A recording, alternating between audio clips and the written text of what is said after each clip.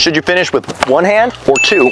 Does it even matter? It does, but only for some hitters. So what should you do? Hitters like Arenado finish with one hand.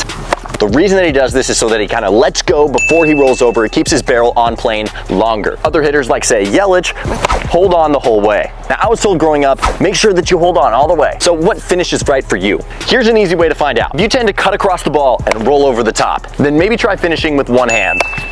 But if you tend to inside out the ball and lose the barrel, hitting weak fly balls to the opposite field, then you should maybe try finishing with two.